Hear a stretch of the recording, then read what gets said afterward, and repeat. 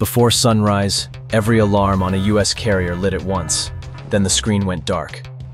18 seconds of blindness against a sky full of missiles and drones. How do you fight when you can't see? Stay. This is how Truman won.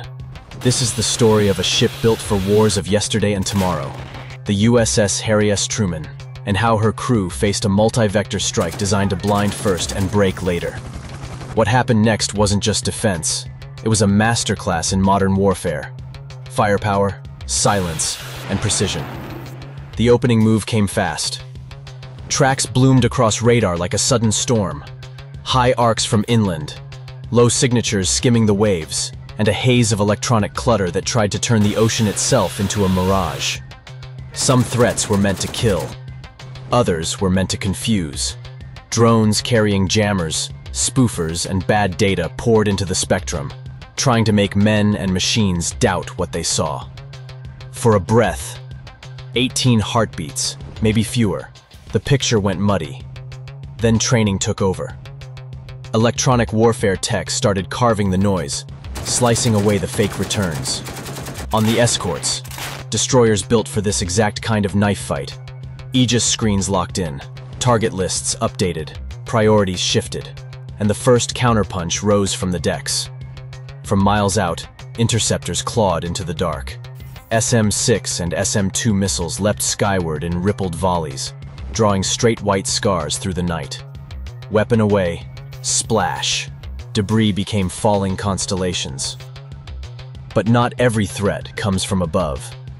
Low and fast, sea-skimming intruders press the edges, looking for the blind corners of radar and horizon.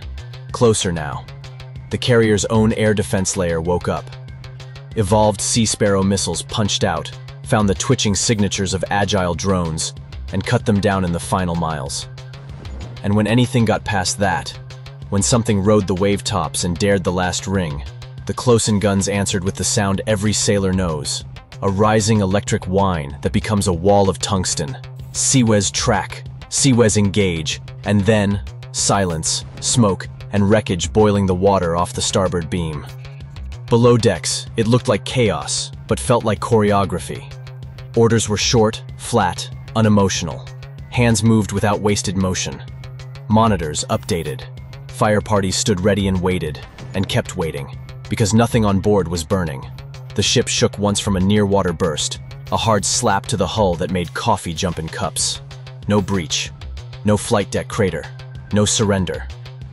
Up top, the air picture widened. Mission update. If this story matters to you, power it forward. We're pushing to 100,000. Hit subscribe, tap the bell, and drop a like. Tell us where you're watching from. Comment your country below. Enjoy the rest of the video. Back to the mission in 3, 2, 1. An E-2D Hawkeye lifted, its radar sweeping a clean 360E, stitching the battle space back together.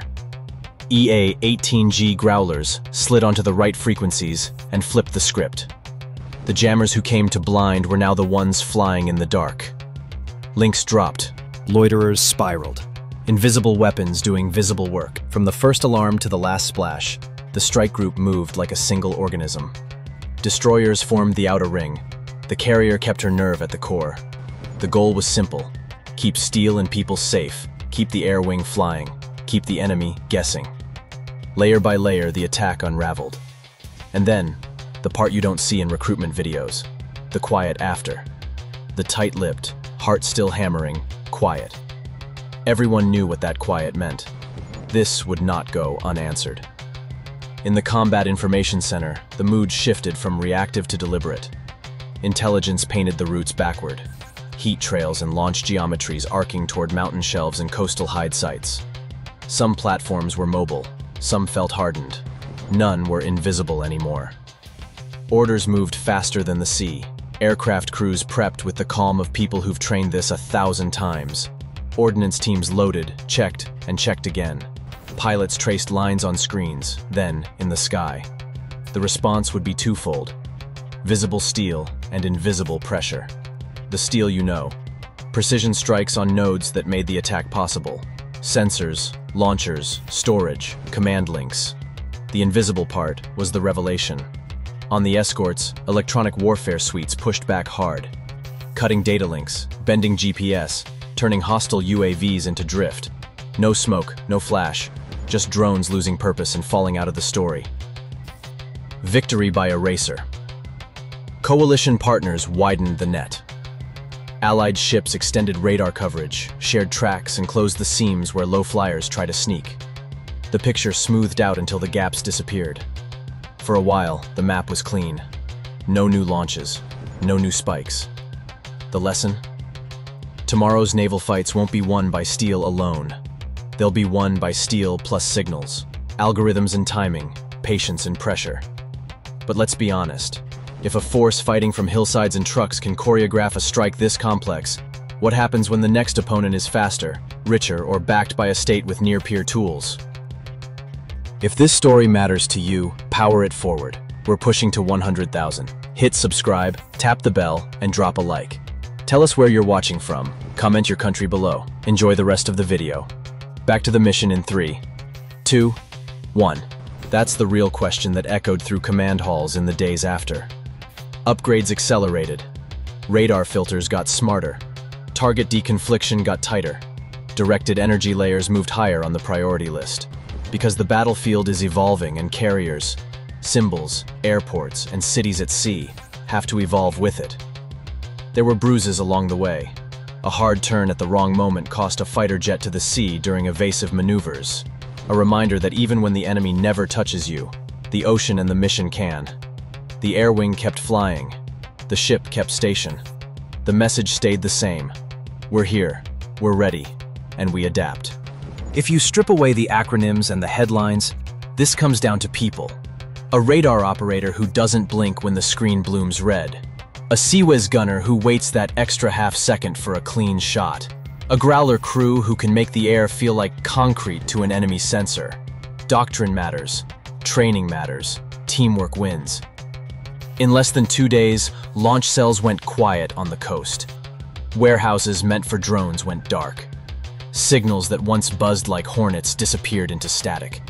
Not because of a single missile, but because of a thousand decisions made in sequence, under pressure, by crews who trust each other. So, what's the truth behind all the drama? It's this. You don't threaten a US carrier and walk away without paying.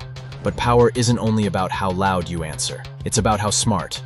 It's about holding the line in public while changing the geometry of the fight in the shadows. It's about reminding every watcher, from capitals to caves, that deterrence is a web, not a single punch. In an age of drone swarms and contested spectra, the Truman Strike Group showed the playbook for what comes next. Layers, loops, and discipline. Sensors to shooters in seconds. Kinetic and non-kinetic married at the hip. Allies closing the seams. And always, always, people who refuse to blink. If you believe these stories matter, the honest, unflinching look at how wars are changing and how sailors keep the sea open, hit subscribe, drop a like, and share this with someone who still thinks a carrier fight is just jets and bombs.